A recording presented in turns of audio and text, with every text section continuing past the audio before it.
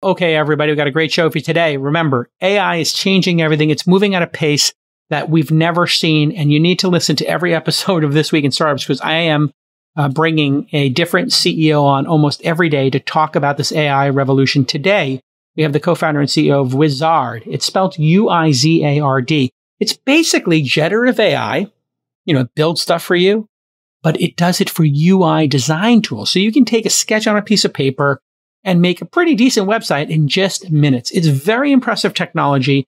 This is stuff that used to take, you know, days, weeks, and now it takes minutes. It's a great interview.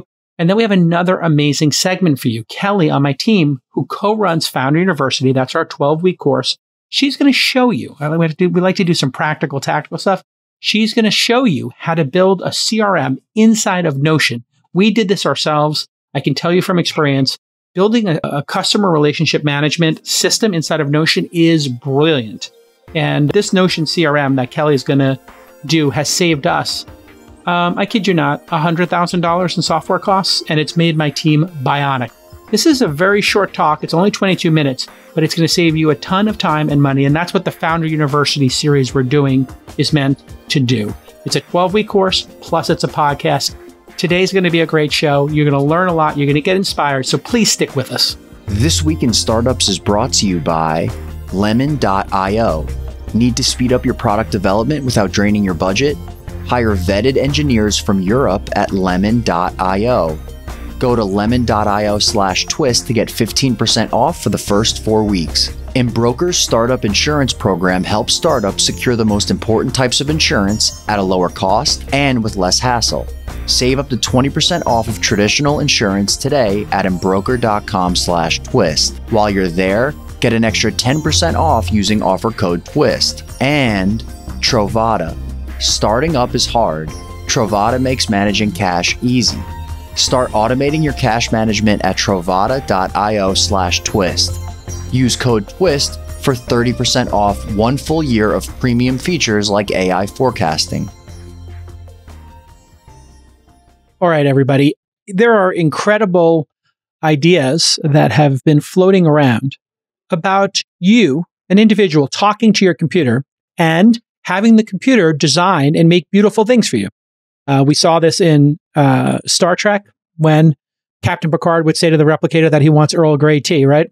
Well, one of the holy grails of voice interaction with a computer would be to build an app or build a design, something beautiful. So instead of taking out Photoshop or taking out Canva or taking out any Adobe, Figma, all of these great tools, uh, Bubble comes to mind, um, InVision, what if you could, instead of learning all the layers and learning how to use all the tools and the plugins, could simply speak, could simply speak to your computer and have it build magic for you? Well, we're going to see a demo of that today on This Week in Startups. Joining me is Tony Beltramelli. He's an Italian who grew up in France. I'm a French that grew up in France. you're you're you're a French who you're you are French, but an Italian last name. Uh, I know, Jason, it's super confusing. Thanks yes, for having uh, me. What, what's the penultimate, like, or I should say the ultimate, what's the ultimate Italian dish that the French do just as well? I'm always interested in these crossover dishes because the Japanese do a number of French and Italian dishes particularly well. What, what would you say the French, with an Italian dish the French do particularly well? Well, you know what? I, I think I'm not going to be able to judge really well because my Italian ancestry is just so far in the few in the oh, past. Okay. So you know, but I would say anything with cheese. I think both countries kind of nail it. they nail it on the cheese front. I agree. Yeah. I agree. All right. So you have a company called Uizard, uh, as in wizard. Am I pronouncing it correct? Uizard. Fantastic, or, Jason. Okay. So is it wizard or Uizard? You know what? We like to say whatever people like to remember it because, you know, ultimately that's what they speak, you know, that's mm. what they say to their peers. So we like to call it wizard internally, but some people call it user. Some people call it UIZards. It doesn't matter. okay. So UIZARD.io is how you're going to find this uh, app. So you've been working on this for a couple of years now. This isn't part of the Chat GPT 4 3.5 boom. You raised money um, you know, back in 20, well, you raised your Series A in 2021, but you've been working on it for a year or two before that. Is that correct? That's correct. We started in early 2018. So it's been a oh, while. okay. You've been at it for a while. And so when did you first become aware that AI could help with voice to product, voice to product interface? Or did you just start pre AI with voice to UI interface? We actually, so this, this company actually started as a research project. Um, so, you know, I have a computer science background. I've always been frustrated by the way we, we were designing and building software. And so all the way back, it was not voice, uh, like, or text to design. It was like um, sketches or screenshots to design. And the idea was, can we use machine learning to kind of like automatically generate design from my dirty napkin sketches uh, or from, you know, a screenshot from the app that we pushed last quarter and kind of like automate the design process. And I was, you know, way before text to design was even close to be practical uh, for productive use cases. And so let's just do a quick demo of the product because I think once people see this, they'll understand how far you've come from the initial idea. So maybe you could share your screen and we'll have the sportscast. Remember, a lot of people are listening. Not everybody's at youtube.com slash this weekend uh, watching this episode, but uh, I'll help you sportscast it. So here we are. We're on a, a simple screen and uh, awesome. maybe you could start walking us through this. Yeah. Yeah. So you basically select the device you, you want to design for mobile, tablet, web. Um, Okay. And then you basically describe your project. So we have a form, and the form is asking you, what do you want to design for mobile, tablet, or web? Which one did you select there?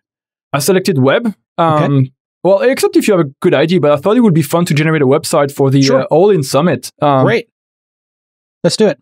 All right. Um, so then you describe your project, a website for the All In Summit, which is a tech conference um, from the hosts of the All In podcast. And then you describe this style you want to go after. Oh, okay. Um, so how about cyberpunk? Cyberpunk. I like this one. Cyberpunk. I guess also cyberpunk, techie. Techie, Los uh, uh, classic Hollywood, and uh, modern, postmodern Los Angeles. I like how specific out, this is. yeah. I'm just throwing cool out wild stuff here. Let's go. Let's go for it. Um, yeah. And then wow, you generate. You go get your second coffee of the day or whatever that is. Um, and what is happening here? Because we just filled out a simple form with I think four fields or so, three or four fields, and then the UI wizard is doing something right now. What is it actually doing? So we've built some of the building blocks, you know, from 2018, and we have an engine to understand the concept of layouts uh, within user interfaces we have a model that con- understands styling. And then all of these kind of like work together um, to basically generate the entire thing. Mm-hmm. Um, and then we use a large lang- language model to just understand the text and generate text. So now we have our all in website, all in ah. Summit, ah. the future of tech. Um, buy tickets. I don't know if the, oh, this is not going to be accurate. Location San Francisco. I guess this is Miami. Um, but here we go. But you, it gave you some text like ChatGPT might. Are you using ChatGPT for the natural language model or a different one? For the content, the, the text in the content is actually uh, built with uh, GPT-3. Correct. Yeah. Got it. Okay. Uh, so you have access to the GPT-3 uh, API, but you need to get access to GPT-4's API shortly. We have access. We haven't integrated yet in the tech you can see right now. okay, got it. And but so you'll you'll this will get dramatically better um, as it keeps going from there. But it gives us a bunch of different website designs. Um, and these are classic website designs uh, with a contact form and uh, just various amounts of copies. So this is going to start, and it has here. One of them looks like a more like a an iTunes or a, um, a Spotify kind of interface. So you're just throwing different interfaces at us with different styles. Yeah. Yeah, exactly. And so once you're there, you you're there, you can basically modify everything, customize it to your liking. Um, the goal of Uizard is to make design accessible to everyone. So the entire editor will thought of, you know, thought as it, it needs to be easy to use. If you can use PowerPoint, you can use Uizard. And so the, the, the goal of Auto Designer is really to overcome the blank page syndrome that so many mm-hmm. of our customers are facing every day. I want to get something to start from and not stare at a blank screen for like, you know, an hour. Mm-hmm. Um, and it actually pulled in illustrations. Where did these? So we're looking at these illustrations, and it has like a nice stock library, I would say, images of people walking around with their laptops and talking to each other. Um, and, uh, you know, some, co- you know, people like sort of collaborating around a desk. It looks like these illustrations were those made in some stable diffusion or something? Are they unique images or are these pulled from the web, from clip art libraries? Wh- Where did the images come from? Really good question. So, if the model actually also make its own prediction whether to use our stock imagery or whether to actually generate its own, and so these illustration we see here uh, were completely generated by the model uh, to kind of Oh, like wow. fit the uh, the conference um, theme. Um, so these are actually completely generated. We we've basically fine tuned our own stable diffusion to do that, um, Mhm. and then you can see others that were pulled from Unsplash or you know some of these online libraries. Got it.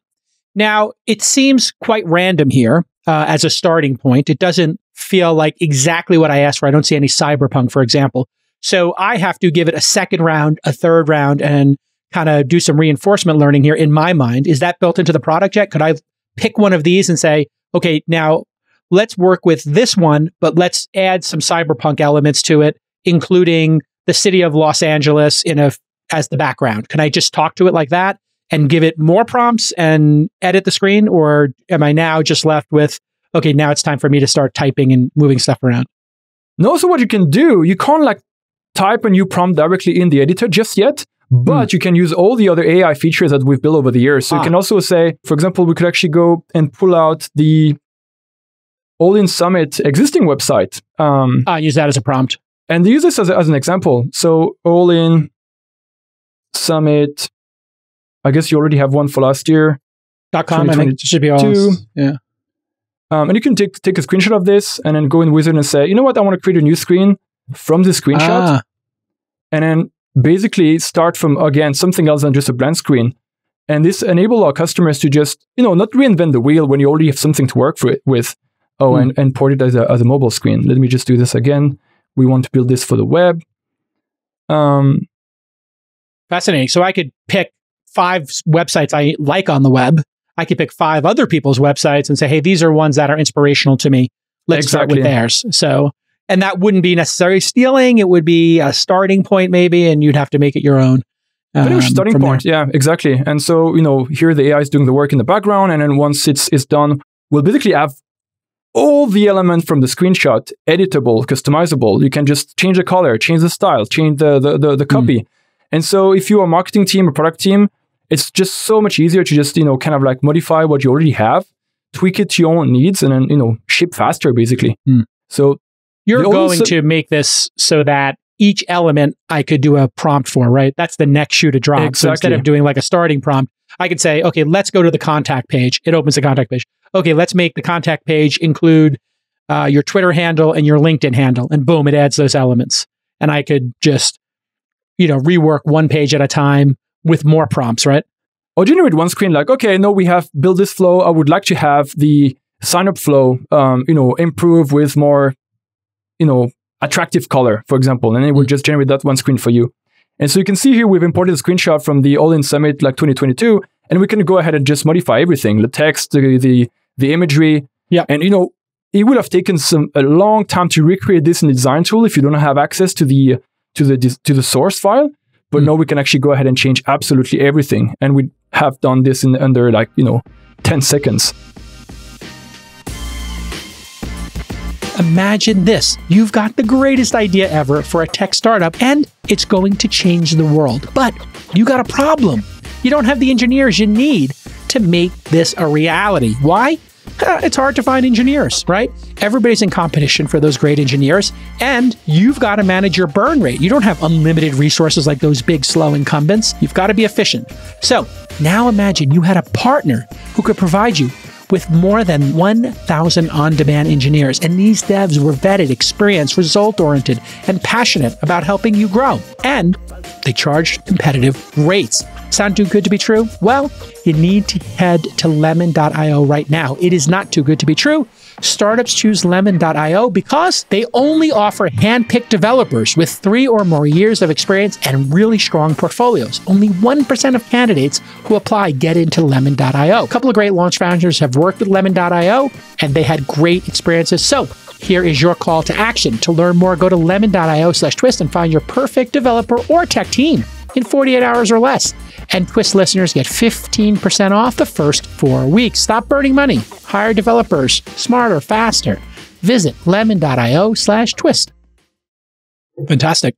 This is very powerful. People are paying for this yet? Who's buying this? Are you and which market are you going after? Because it does seem to me that this is pretty early. If I was a design snob and did this for a living, I would be offended that you even built this product. so some high-end person who is, you know, doing yeah. can not doing Canva, uh, a high-end person doing Figma, doing this for a living is like this is going to be more work than me just coming up with my own ideas. And then I could see people who are really early, they might just prefer using Squarespace, picking a template, making something beautiful, and, and being done with it. So where does this land? Who is this product for? Because it seems like you're maybe too advanced for people who just want a simple website for their portfolio or restaurant or project. And then maybe you're not advanced enough yet for the Figma design head to want to give up Figma or InVision. That's a great question. So our customers are basically the folks that don't have the skill set to use Figma or InVision or Adobe. These are imagine like product leader, head of product, them mm-hmm. maintaining Slack and just want to have an easy way to just put a few ideas together, communicate to the team and then ship. Or a marketing team. You are spinning out new landing pages, new new ads, and you basically want to have a quick and easy way to, to do that.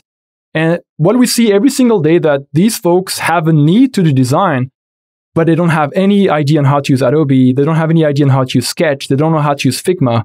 And we basically provide them with a better tool to kind of like turn their vision into some mm. Shareable ideas that ultimately can be built by the product team. Fantastic. So all of the business people who are not part of the design team and the wireframing team can now start annoying the people who will eventually do the work by coming to them with a bunch of designs that are 70 or 80%, let's say, of what the designers will eventually get to. And so in, in the way, this is me as a CEO sketching stuff on a napkin and then handing it to the design team and saying, Hey, why don't you guys run with this from here? Uh, yeah, pretty much. I right mean, now. we see two things. Like some design teams are really frustrated to just get some really rough, really weird requirements and would rather mm. get like a, a design file that's kind of like workable so they can see where where are you going with this vision but we also see some teams that are like, okay, our design team is already way too overworked. They don't have time for anything new. So I'm going to go create this in Uizard, and then I will mm. just give it directly to the to the developer who is who is going to implement it using their library of component uh, and basically save time to everyone. How do you make money? Subscription, good old SaaS. Uh, people pay, uh, you know, seats per month depending on their volume of usage. Uh, first first uh, tier is at 12 bucks a month, and then the business tier is at $39 a month. Got it. So if the 10 people on a product team want to use it, 400 bucks a month, $5,000 a year, and everybody can make reasonable designs and go faster. So have you seen anybody be able to, let's say, reduce their workforce or um, maybe fire their outside design firm because this was good enough for the non designers to make product? Have you had those stories yet start? And then what are your thoughts on, you know, uh, the elimination of, you know, people having to have this as an in house job function? Are you there yet? That's a good question. So, what we've seen is startups that would basically not have to hire an expensive agency um, to build their first MVP. This has happened a ton. So it's not someone getting fired; it's someone not getting the job. Got it. Um, but so this other... reminds me of logos. Like in the old days, you would hire a logo firm. You, yeah. They would charge a minimum of fifteen hundred bucks, probably on average three thousand. Maybe you know, in high end cases, seventy five hundred to twenty five thousand dollars. A Series A a Series A firm would typically take of their three or four million. They might spend one percent of it, thirty or forty k, building a whole design lo- a logo. So yep. here, instead of and now we know everybody just makes logos on their own to start, or they hire somebody for 500 bucks uh, and they're done. Yeah, exactly. Right? Yeah. And it's done. And at least you get something to, to start from. And, and then you can iterate on it pretty cheaply as well. Got it. So normally what would people, what would a startup spend making this sort of mock-up design of their prototype? And then, yeah, we can compare that to what you're charging, which for a startup would be, I don't know, five people times 40, 200 bucks a year, 200 bucks a month, 2,500 bucks a year. Yeah, roughly, and we've seen everything from you know like uh, agencies charging a startup like 10k to you know even more just to build like five screens MVP for a SaaS or like a mobile app, which is pretty insane when you you know you don't even know exactly what you're building yet. You just want to explore ideas, get the first few mm. users or paid customers. So it's yeah. I like that. I think you figured out who your customer is. This is this was the big question I had coming into our interview yeah. was who is the customer here? I think actually that makes a lot of sense because there are design firms right now saying $2,000 for a screen. We're going to spend three or four days on that screen. We're going to spend a month on your project. We're going to put, you know, we're charging you $10,000, but we're going to put 100 hours into it. We're going to put 200 hours into it. It's going to be like 50 bucks an hour for us. That's barely a living. That's a $100,000 salary. Like that's what a great designer, or at least a, a very good designer should get. But what they don't realize, I think, in this calculation is now there is an easier way. And then your customers, just like the logo, if the logo is 80% of what it will eventually be, that's fine for now. That 500 bucks is fine for now. The 2500 yeah, bucks they're going to yeah. spend with you is fine for now. This is a very smart strategy. And it's not, how did you come to figure out that this was your customer? Maybe let's talk about that. And you also used Rahul Vohra from Superhuman previously of Rapportive, uh, an amazing founder I've invested in twice, and LP in his fund. um, he had a really great uh, product market fit machine blog post he did. You read that.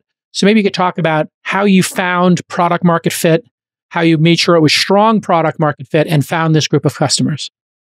So actually, yeah, the product market fit uh, engine, um, although Rahul has been the one kind of like um, turning it into a machine, uh, the the core question of that survey is actually was done by Sean Ellis, which is yes. like asking your customer, how would you feel if you could no longer use the product? And then, you know, if at least 40% of them will say, I will be very disappointed if I could no longer use a product, then you have a measurable sign of product market fit.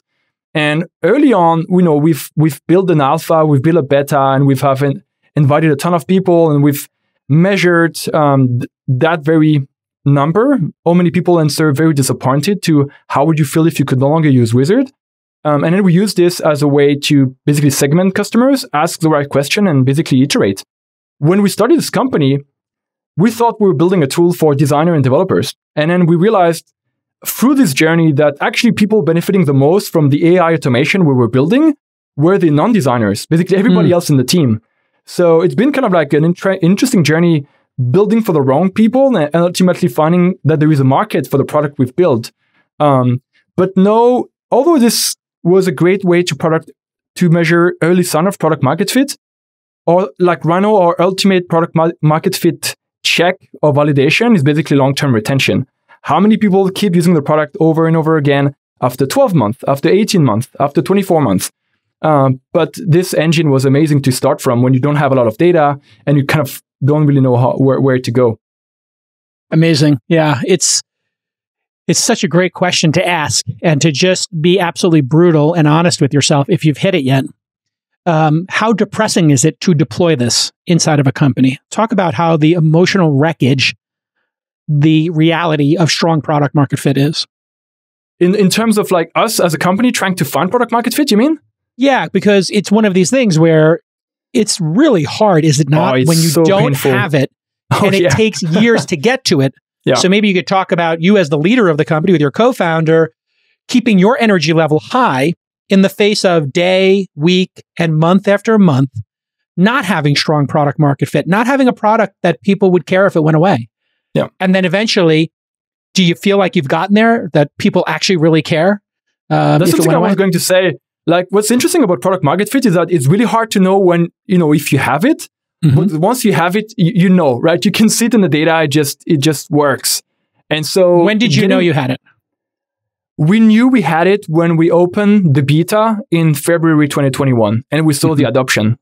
And then we Got thought it. we, and then, you know, you think you have it, growth is is on the right direction, and then you you hit another inflection point, and you're like, oh no, that's how product market fit looked like. We thought we mm. had it, but it was actually just the early sign. Um, so it's actually interesting how it goes in like phases. Mm. Um, so that first wave there, was just people signing up, downloading, and then the second phase was this group of people who were just using it a lot. Was it the engagement it that turned it over for you in the second phase? People using it a lot. People telling us that this is too cheap for what the, the value they get. Oh, uh, really? That's an interesting yeah, sign. So people telling you you're idiots for your pricing model. Yeah, that was really interesting to hear as an like engineering like background founder. You know, you're always too scared to charge too much.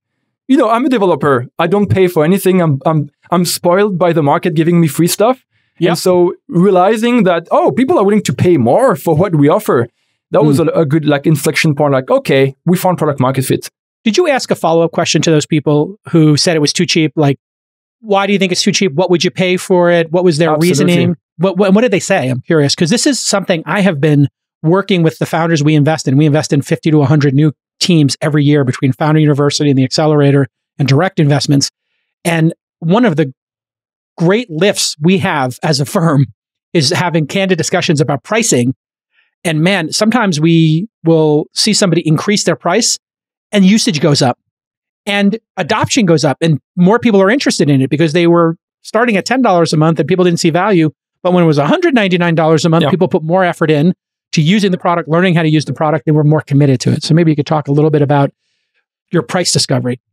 That's something that was the most surprising to me is how much psychology is at play when you when you discuss pricing. Mhm. And actually, just we when we started, we just had free and pro, Hmm. and just by adding a more expensive business tier, had it an impact on how many people convert to pro because they felt like okay, there is a more expensive package. I'll just sit in the middle. Just this trick helped also convert more people to pay. Uh, and then to answer your first question, when we you know got into a conversation with a customer and they were like, "This is too cheap," of course we will ask, you know, what would you pay for it? And and then fig- try to figure out exactly wh- where would be the falling point. Like, how much Mm. would be too expensive? How much would be too cheap? What do you think would be the right price? And then when you do this, for, you know, over a thousand of customer, you start kind of have a ballpark of what the Mm. price should be. Uh, but you know, full disclosure, our current price is still lower than what those discovery highlighted we should charge for. Mm. Uh, because you know, it's always a trade-off between charging and optimizing for revenue versus slowing your growth. So it's kind of like I mean, pricing needs to change on a regular basis, uh, but it's always hard, easier to The say good than news is, you know, at the price you're at, it should be sustainable for your company. You have a company, you told me, of 45 people. Yep. And there's definitely, you know, 10, 20, 30,000 seats that are out there waiting for this product at 40 bucks a month. And if you can get but 10,000 of them, uh, you know, 10,000 times $4 is 40,000 and add a zero. If it's 40 bucks, that's 400,000. And that puts you right in the break even space with 45 employees in my experience. So somewhere between 10 and 20,000 paid subs, your company's break even. You're playing with the house's money. You raised a bunch of money. Uh, so you'll be in just absolutely great shape. So I would just say the march to 10,000 and then you get the data, right? I mean, that's the other thing. If you charge too much, you have less Yeah. users, you might be more profitable, but then you get less data Yeah. and you get less use cases. So it's uh, one of the things that has influenced me a lot is watching what happened in skiing over my lifetime. It used to be 60, then 80, then $100 for a lift ticket. I know in Europe it's much different, right? They, Way it's much- cheaper in Europe. You guys are 50 insane. bucks a day? come- 40 yeah, bucks a pretty day? much. Like, and that's probably, that would be a good resort. Like ski, skiing is so expensive in the US. It got so crazy. it, if you walk up to a Lake Tahoe or a Colorado resort now, it's you know 175 250 dollars per day. But at Oh, the wow. same time, they came out with the Epic Pass and the Icon Pass, which are for just a local area. Just if you did Colorado local or Lake Tahoe local, might be four, five, six hundred dollars for the entire year. In other words, on day Yeah. three, you're break even. Yeah. And then there are like no blackout dates, and it's seven hundred dollars. Let's say if you ski ten days a year, twenty days a year, um, with even one of those passes, you're way into the break even. And it, it's just extraordinary how it's changed skiing. Now there's so many people at the mountain um, and they get the money in advance. So they've discovered their own sort of SaaS model where Yeah, you have to buy these Yeah. before the season starts, which gives them, they don't have to take loans or money to maintain the mountains. They get the money in advance from the user base, which was Elon's big thing with taking pre orders for cars, right? So it's all kinds of great learnings here, I think. I think the same with conferences that always Yeah. sell the tickets, you know, uh, on on the year before the actual one event. year out. Yeah. Yeah, exactly. Yeah, It's a great way to do it. it works. Yeah. Yeah. Listen, we work with super early stage companies at my investment firm launch. You got pre series A, maybe you got a couple of thousand dollars a month in revenue. You've raised a couple of hundred thousand dollars, maybe a million dollars, right? It's the early days, year one or two of a startup. And uh, I'll be honest, a lot of times startups, they don't have their insurance. They haven't set that up yet. They haven't set up their accounting properly. they're getting things cleaned up. Uh, in fact, I was recently at a great startup, but they didn't have D&O insurance. That basically protects your directors and officers. That's the D, directors, people on the board, officers, the people who work at the company, right? Directors and officers insurance is super important. So what do we do? We sent them right to Embroker. Our friends over at Embroker are a business insurance company that's built specifically for startups. You just fill out a simple application, right? And then startups get four quotes for four lines of coverage in 15 minutes. Four quotes, four lines of coverage, 15 minutes. Easy, breezy, lemon, squeezy. That's right.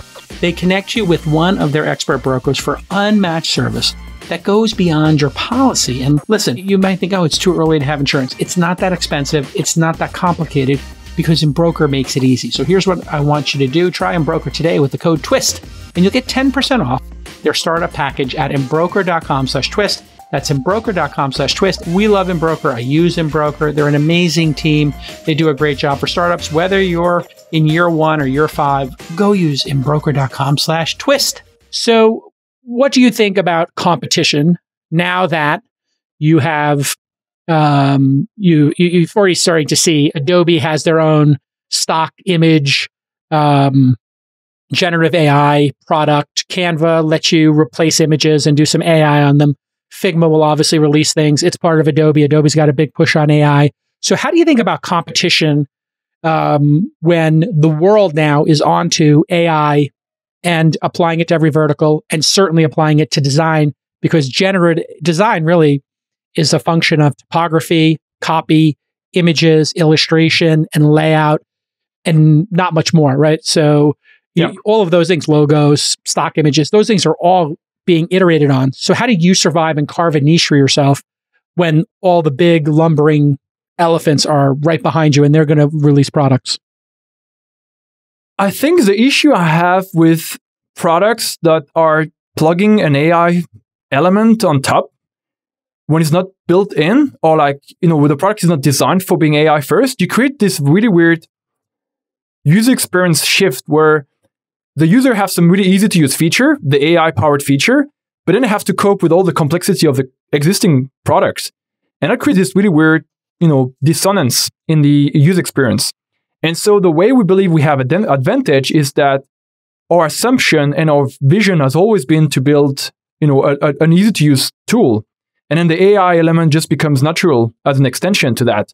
So I guess if those companies you just mentioned need to really want to enable AI inside of the product, they're also going to have to rethink the rest of the user experience because ultimately, who's the user of this AI? You mentioned it earlier.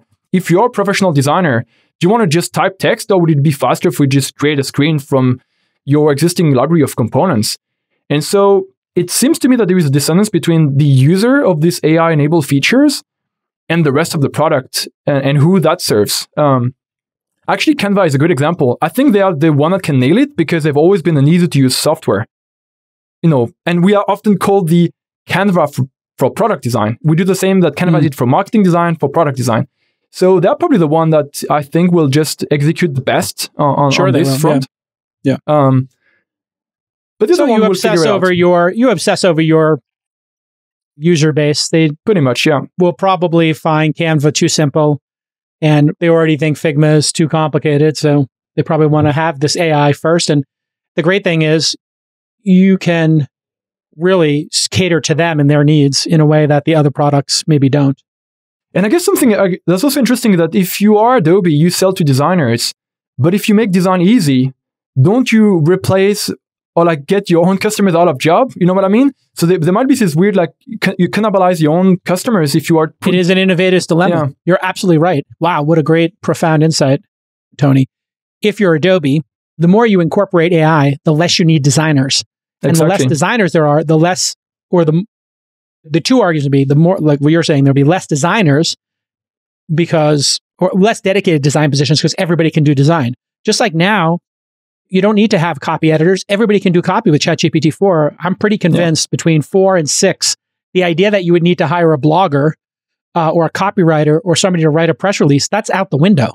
I think anybody in the organization will be able to write a serviceable press release, just like everybody could write something without spelling or grammar errors, thanks to Grammarly and, you know, just the grammar tools built into word processors. So this is a brave new world. Um, and then Adobe's customer base would have to shift from designers to everybody. That's that's kind of a hard thing to do. Yeah, I think. Right. A feeling. Yeah. Let, time will tell, but that's that's that's going to be tricky to solve. Man, it is going to be a brave new world, and uh, super excited to see what you come up with when Chat GPT four gets incorporated into the product and um, plugins. So, have you started to play with the plugins that uh, are available for ChatGPT four? And do you have any favorite ones or crazy ideas that have inspired you since you started playing with the plugins? Actually, we, we went really deep into the, the plugin API because we wanted to figure out how to build our own. But mm. I, I, must admit, I've, I haven't used the plugin myself mm. much. I, am using ChatGPT every day, but not the plugin just yet. Mm. Do you think ChatGPT is going to replace search? What do you think the impact will be on search? Like, have, have you found yourself using Google, replacing a Google search with the ChatGPT 4 uh, chat session? Oh, that's an interesting one. I find myself oscillating between the two. When I, I mean, for programming, I use ChatGPT. The I mean, I need to tweak things, but I will need to tweak things from a Google search either way. But I find the level, the the communication experience is so much better. Like, hey, tweak this. That line was wrong. Maybe you should actually, you know, I can respecify my requirements, then code changes. Mm. When hmm. I'm going for very specific information, I'll still use Google. Um, Got it. But I think what what I find interesting as an entrepreneur is that, of course, SEO and content is a big part of our acquisition play in the long run. And no, the big question is like, do we keep optimizing for ranking high on Google search? Or do we start optimizing for ranking high, you know, in a database that ultimately will be used for training ChatGPT? It's, it's kind of interesting as well that the, the entire game of SEO is also changing for well companies. Um, well, and what would the what's the point of SEO if people are going to stop searching and just get answers, and exactly. then the answers don't yeah. have links in them? So oh, it yeah, basically true. means, you know, and I think that's going to be the big rub that's coming soon, which is uh, I think ChatGPT 4 is going to be forced to put in citations to where they got information from Uh, as part of their reasonable uh, negotiation with content holders because they just served up the entire web, from what I understand. Um, but they're not going to be allowed to use Quora, Reddit, YouTube transcripts, tweets, Facebook, Craigslist, Amazon reviews, all of those are going to be siloed out and you're going to have to license that data. So ChatGPT's performance could go down because the model will have to remove that training. I believe the lawsuits will be such that they'll say to ChatGPT-4, we know you learned a lot. Now you have to go back to 3.5 and redo your model, but you got to take out Reddit. You got to take out Quora. You got to take out Wikipedia. You got to take out this open source project and you got to redo ChatGPT 4 in ChatGPT 5 with citations and with uh, a licensing deal. And I think that's going to be the really interesting part. Have you played with Bard yet? Do you have any early thoughts on bard.google.com? I love Google product, but Bard is not one of them. I must admit, mm. it's it's it's, um, it's it's so shocking to see that Google was the one building tra- the transformer architecture, and then they got completely outpaced by yeah by OpenAI. It's it's kind of sad to see. I must admit, um, especially with all those employees all those employees and they can't build a better product yet. Would you say Bard is where 3.0 is of ChatGPT or 3.5? Obviously, it's not four. It's hard to tell, yeah.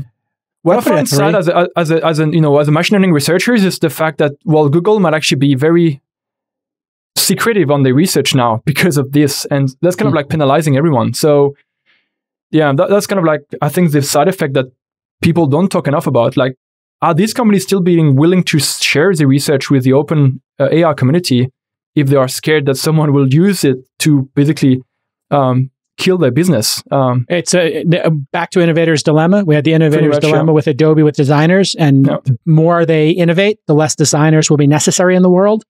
Possibly is one argument. Um, and then here, the argument is, yeah, if Google does a better job with Bard then people do less searching and then less ads get clicked on. Because if Except, you get the answer, you don't need to click on an ad. Except if they figure a way to just embed the ad in the uh, in the uh, in the in the results. That's what but, I think they're yeah. going to do. I yeah. think they're going to put them right in the results. So when you do something, hey, I want to design a, a world class logo, it's going to be like from this book. Yeah. World class logos and this book da da, and this article, and those are all going to be paid links. And then there'll be other, you know, somebody who bought the term logo design their ads, it will say, for more resources, here's this, this, and this, and it'll explain what that page is in a sentence. So it'll give you 10 bullet points at the end of search. That'll be like a really thoughtful description of the page that the AI will write with the link and those people will pay per click. Why wouldn't they pay per click to be at the bottom of your discussion, right? Exactly. This chat is brought to you by these five related resources. All right, listen, Tony, great job. Continued success. And Thank you so much. if anybody wants to check out the product, the URL again is U-I-Z-A-R-D.com. dot .com. All right. Europe based company. You're scattered all over Europe uh, from what we talked about. And, and are you hiring right now? Any uh, positions that you need to fill ASAP? Not at all. We believe we have all the right folks until Oh, Series. B. Perfect. All right. I like it. A little austerity. We got the right team. We just need to put our heads down and build. It's not about the size of the team, it's about the impact the team has. Very good. All right. Uh, continued success, and we'll see you all next time on This Week in Startups. Bye bye. Trovata is a cash management platform that helps keep tabs on your runway, all of your financial data, and it prepares you to answer investor questions, right? And this increases your credibility when you're a startup. It's basically the cash command center uh, for your startup, and it's going to let you analyze, report, and forecast your cash position like a pro. And here's the thing many startups are using multiple bank accounts, sweep accounts, you know, to increase the FDIC insurance. Well, Trovata makes it easier than ever to manage multi-bank data with a single source of truth. And Trovata can scale with you from your seed round to Series A, B, and onto your IPO. Fast scaling startups should not be managing cash in a spreadsheet. Cash is your lifeblood, so let's treat it that way. With investors like Wells Fargo and JP Morgan, Trovata has pioneered a massive library of corporate bank APIs, and companies like Carta and Fanatics trust Trovata to gain visibility into their multi bank data. So here's what I want you to do. Go try it out, trovata.io slash twist to get started for free. And use the code TWIST for 30% off. Premium features for one year, like AI forecasting and reconciliation. Start managing your cash like a pro with Trovata. That's T R O V A T A dot io slash twist to get started for free. Okay, everybody. Tony did a great job on the show. You got a lot to think about, but I want to get into some tactical work now. Kelly from my Founder University team is going to show you a nice tactical talk on how to build a CRM, a database of people, so you can manage those relationships inside of Notion. Uh, and by the way, if you enjoy these tactical demos, you're going to love the Founder University podcast. I'm going to put some Founder University podcasts at the end of this week in startups so you get familiar with them. But all those tactical talks are available on YouTube or your favorite podcasting app. Just type Founder University. Go subscribe. If you want to rate it and, and write a review, that would be super helpful to me. I'd really appreciate that. Uh, or if you go into the descriptions here at This Week in Startups, you'll find all those links tucked away for you. Take some notes, pay attention, stick with us. This is a great tactical talk. Hey, y'all, I'm Kelly. And in this episode of Founder University, the podcast, we're talking all about setting up a customer relationship management tool or a CRM for short. As you scale your business, you'll need to implement new processes to create visibility and avoid things falling through the cracks. A well set up CRM is a bit of work up front, but when done well, it'll save you and your team a lot of headaches.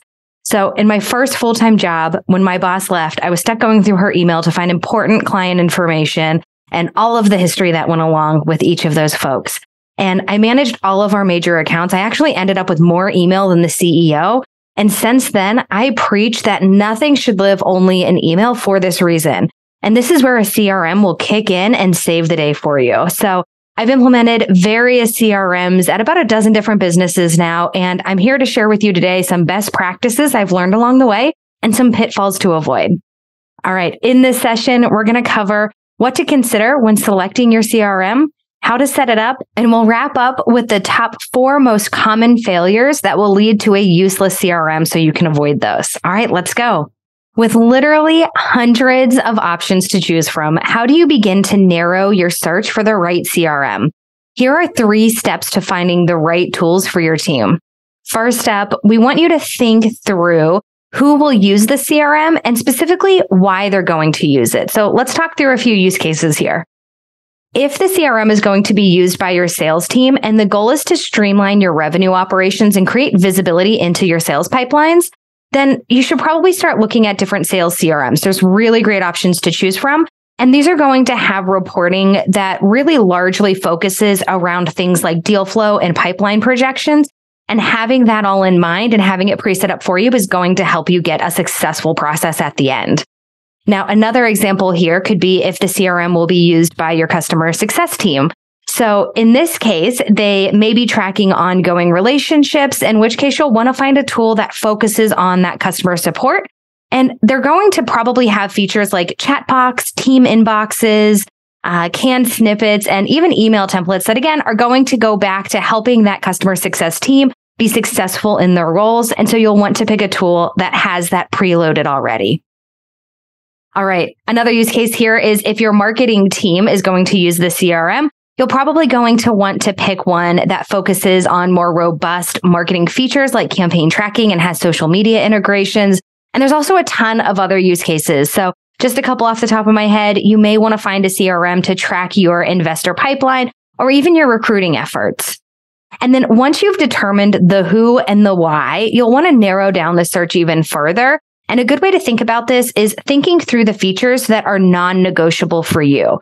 So you may need to focus on an industry specific CRM, which often will come preloaded with customer workflows that again are really specific to your industry. So for example, here, you might have an e-commerce CRM that includes, let's say, a cart recovery workflow preloaded that you don't have to custom create. It's already in there and easy for you to set up with just a couple clicks.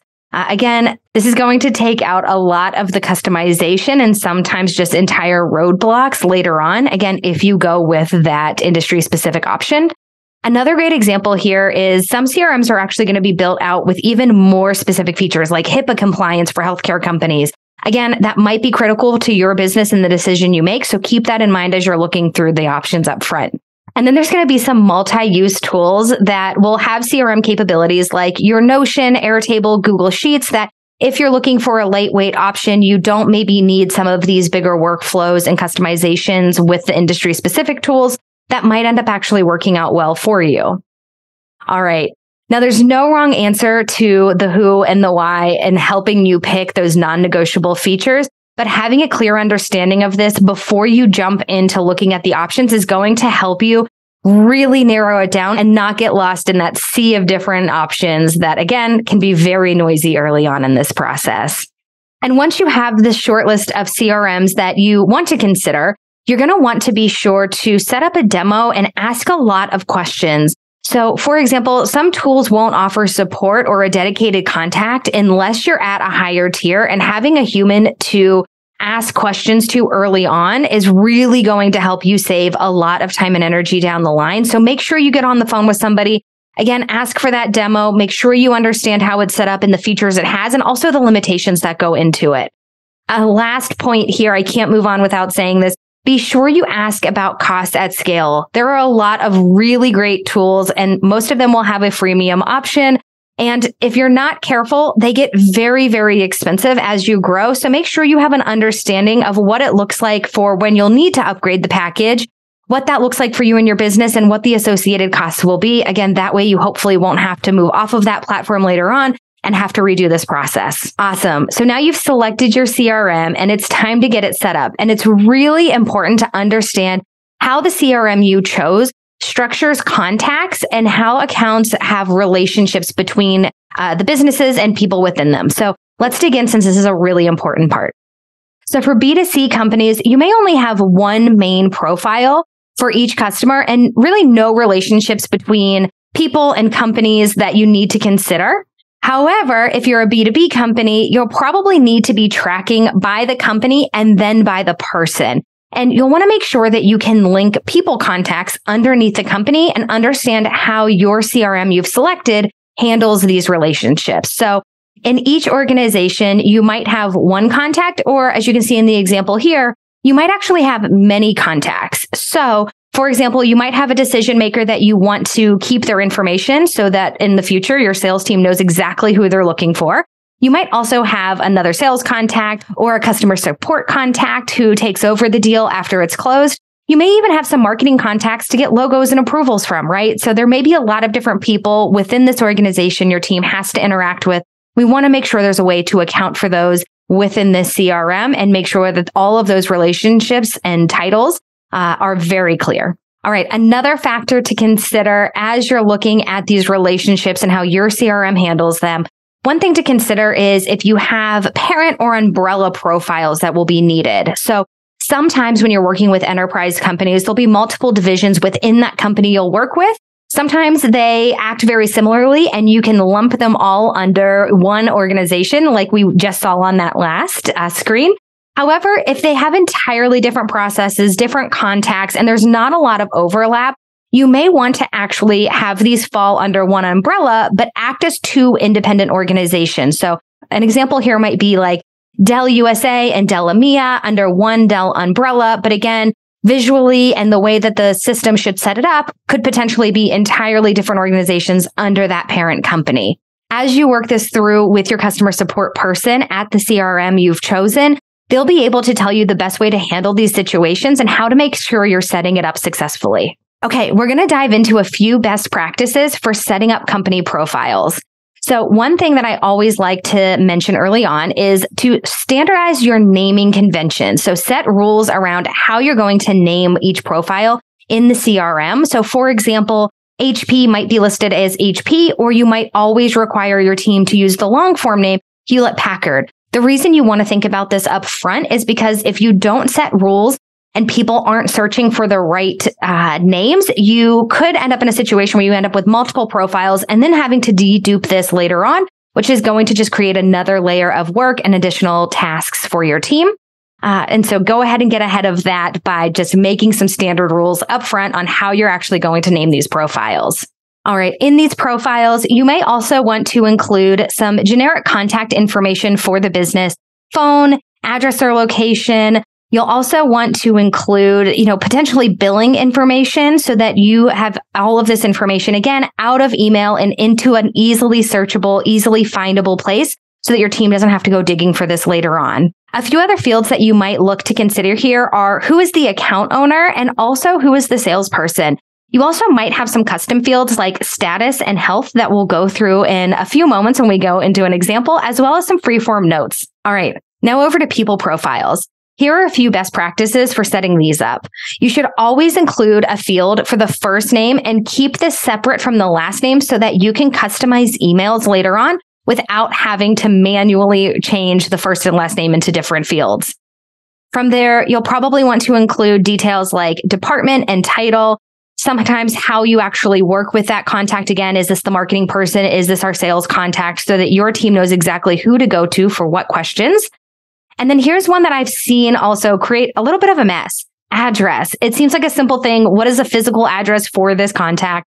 However, I've seen sometimes where sales folks or customer support people just trying to get it done rather than asking the question to the contact, they will just search online and pull the corporate headquarters. And if you're going to do that, just know that if you decide to send holiday or thank you cards, gifts later on, you might be sending those to the wrong place. Again, if you're not asking the actual specific question. So just set up rules internally for what is going to be included and also what you're not going to include in each of these. Also, if you don't plan to ever send anything physically by mail, you might not want to include the entire address to save your team a few steps, but you probably would still want to include things like city, state, country, so that you could eventually pull a geographical report later on if that's something that is needed. Let's pause here and talk a little bit about custom fields and freeform notes because this is going to be really critical as you're getting set up and could save you a lot of headache down the line. So I've noticed that folks tend to default to freeform notes when in doubt. And unfortunately, these should probably be used sparingly. And I'll show you an example for why in just a moment. Instead, what you want to do is think through the information and the data that you're inputting into the CRM and really understand if this is something that you might ever want to track or report on. If you think that it is something that you might need to be able to get an entire list of, or again, pull that data, pull that report, then you're going to want to enter this as a field or a tag because if it lives only in freeform notes, you're never going to be able to pull that out and get that list. All right, let's jump over and look at an example together. Okay, so here I actually have a just dummy customer CRM that I created this morning to show this example. You can see a few different things here. One, we've got a list of all of our customers and you can see just general top line information on these. If I click into one of our profiles here, you can see this information broken down in a bit more detail.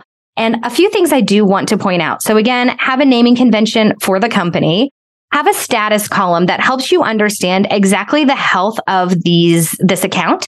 Uh, I like to do red, yellow, green because the coloring is really helpful when you're talking about this in a meeting to understand where you should spend your time. So here we've got green is happy. The client is in good shape. We don't need to necessarily do anything. Yellow, this is going to be for the accounts that need a little bit of help in the moment, a little extra TLC.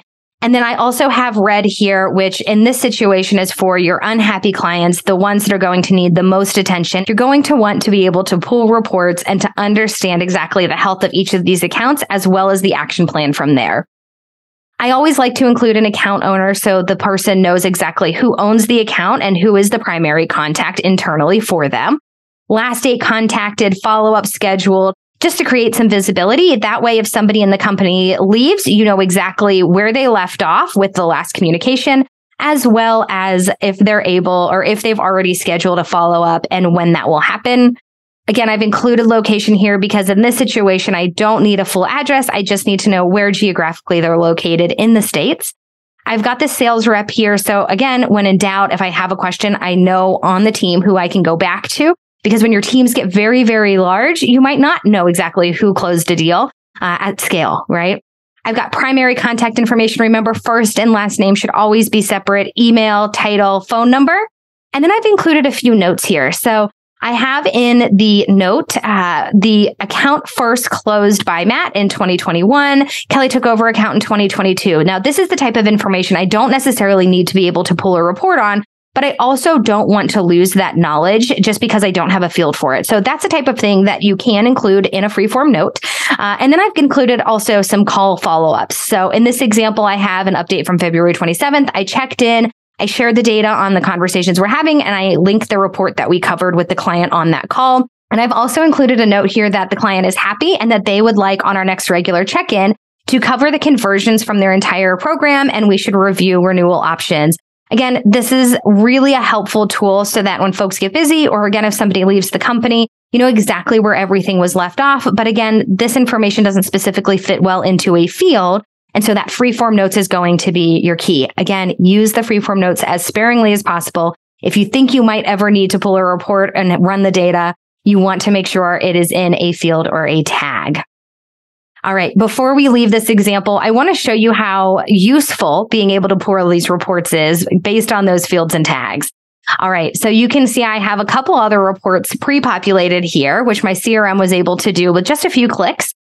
And here you can see, in addition to all customers, I also can pull a report of accounts by owner and I can see who on the team is maybe reaching capacity on the accounts that they're managing and who has room to take on some new accounts.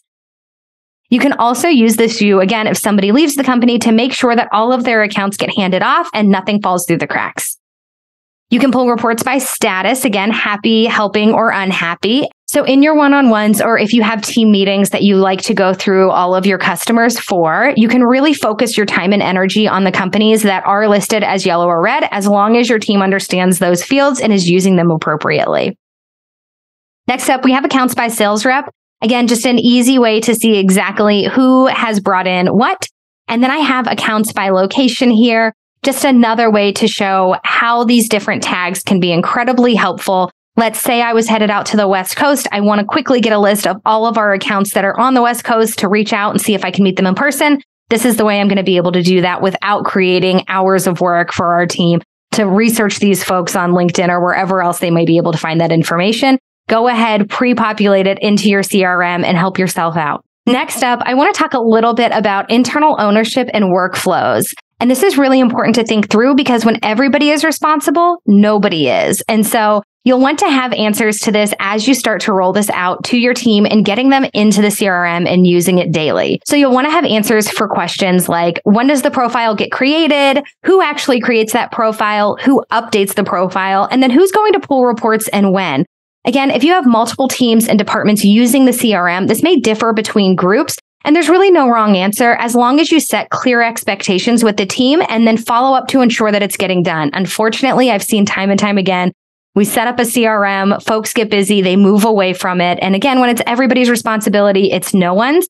And so if you want to have a CRM that is useful to you and actually beneficial to your organization, you want to have clear understandings of who is going to be updating these when that happens. All right.